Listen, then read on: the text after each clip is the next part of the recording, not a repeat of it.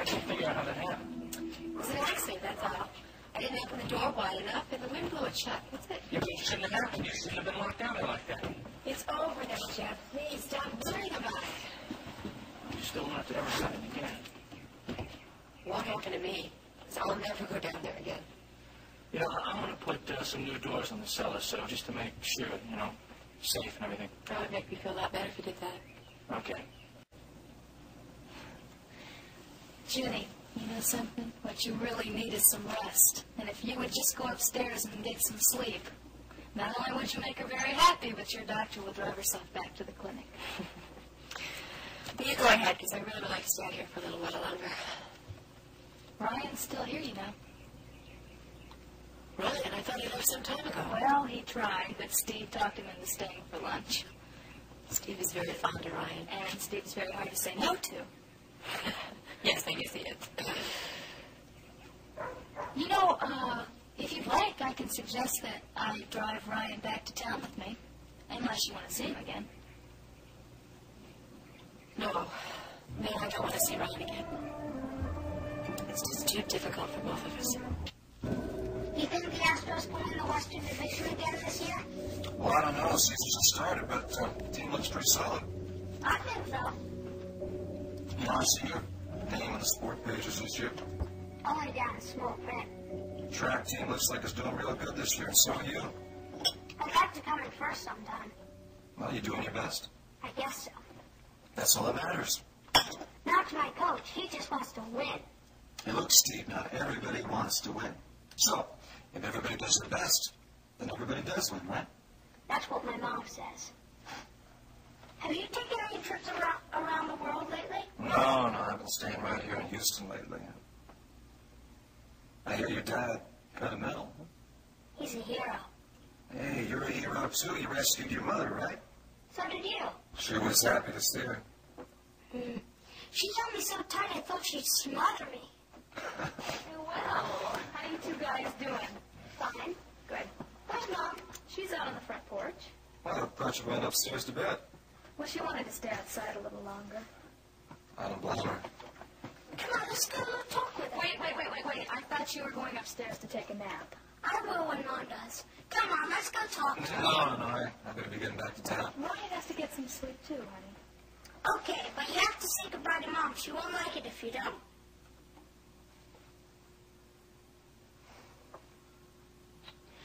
Come on, let's go.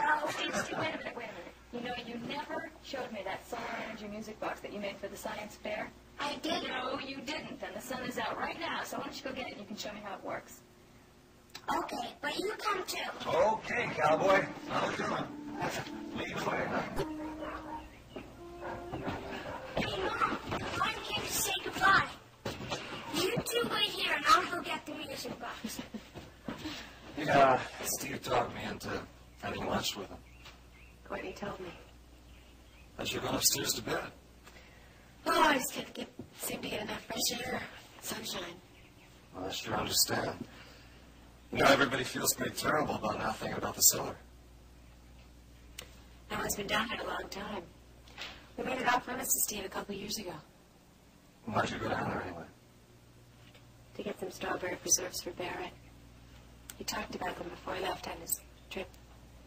You, uh, you did it for Barrett, huh? Yes. We also talked about making that into a clubhouse for Steve. Jane. I'd give anything if I could have kept you from having that experience. If anything had happened to you, or our baby, I... It's over now. The baby and I are just fine. I thought about you a lot last night. Ryan, I'm more convinced than ever that I've got to make a go of this marriage with Barrett. Jane, uh, did you consider leaving Barrett? Yes, I thought about it. But I just can't. Sure you can. That's what you want. Right. I'll never really know the hell that Barrett endured in that prison camp. Not knowing if you're ever going to see the sunlight again or breathe fresh air. Right, it's a terrible feeling, and and Barrett went through it for five years. I could hardly go through it down there for I thought it was going out of my mind. Look, you went through an awful emotional experience. I know it sounds ridiculous for me to compare what I went through to Barrett's Oh, no, that's not ridiculous at all. I've got to try to help Barrett. I've got to be more patient and more understanding. Maybe I have the key. Maybe this time I can really help him. I have to try. And if you fail, will you admit that? Intend to fail. Okay, I'll wait. I'm gonna wait for you. No matter how long it takes. I'll always be where you can reach me if you need me, okay? If you need me, or want to see me. She was nice seeing Steve again. Spend some time with him again. Barrett, Barry, I didn't realize that What are you doing in my house? you... Did you see Kate or Jeb? No. I parked the car in the stable and walked up to check the pond. Why? Ginny had a real bad experience.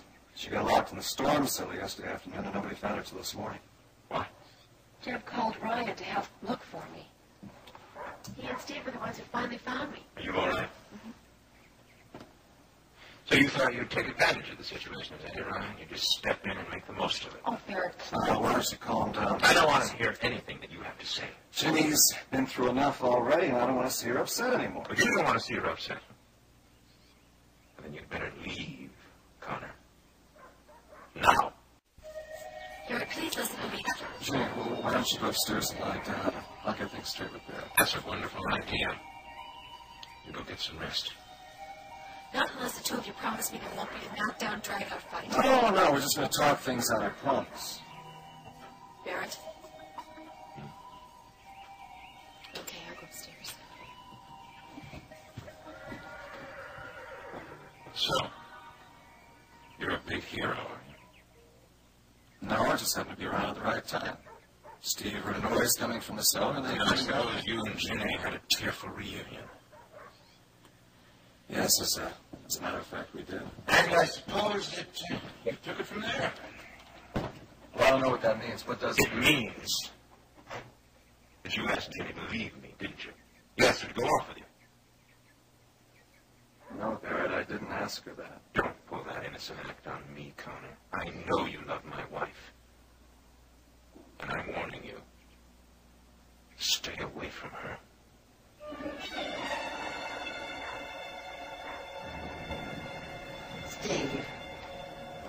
You go over to Max and Rena's cabin? Rena went to town, so she won't be back till dark. How do you know that? Max told me. Where is he? I think he went to the cabin to get some sleep. You could use a nap too. Why don't you go on up? You were up all night. What's going on that you don't want me to know about? Nothing's going on, honey. Then why are you trying to get rid of me? Is there some reason I shouldn't go talk to Mom and Ryan? I think they're having a private conversation. It wouldn't be polite to interrupt them. I guess you're right as always, Grandma. What's going write about, honey? Oh, I was just talking about Ryan. He hasn't left yet, has he? No. Why? Well, I have something I have to ask him. Um, just one second, Steve, okay? Ryan's out on the porch talking to your father. When did Barry get back? About ten minutes ago. Oh, I didn't see his car anywhere